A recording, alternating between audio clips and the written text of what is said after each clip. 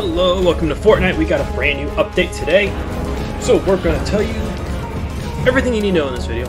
And we're also going to tell you where to find those spicy chili chug splashes. So let's hop into the video. So here you are. This is the chili chug splash right here. It's going to heal you and it's also going to give you a spicy pepper effect for one minute. So great add to the game. It'll be fun to see how people start using this. Check this out, the new Chaos Origins. So let's show you exactly where to find the Chili Chug Splash. Also with this update, we got the new Toona Fish skins, so be on the lookout. There's new challenges to complete the second half of that. Also, there are purple and gold crows added to the game.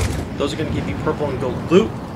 And we also have a new challenge punch card for you guys to complete also, which they have buffed so you get more XP for the challenge. So we're landing right here at the Brat location. This is the Brat location where you can purchase the Chili Chug Splash right here. Bada bing, bada boom. Looks like he also sells the Chug Cannon. That's cool too. Let's see. Okay, 20. Gives us 20, and we got some speed now. I aim speed. Let's go, baby.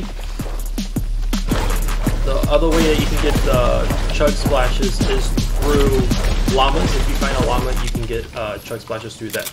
That's it for the video. We hope this helps you understand the update and where to find these Chug Splashes. We'll see you next time. Bye.